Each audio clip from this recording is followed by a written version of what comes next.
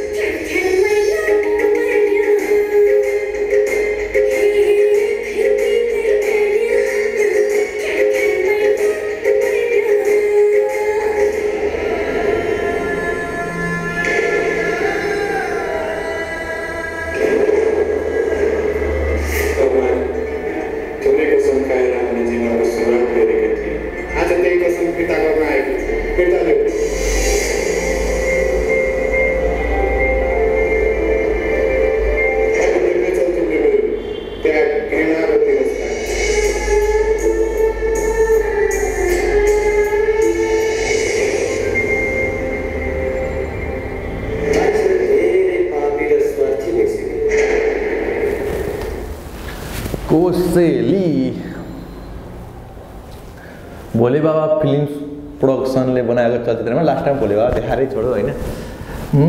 कस्तो होला त? यसो अनुमान लाउँदाखेरि अब फिल्मको कथा अब हलमा के कस्तो चल्छ आई डोन्ट नो होइन?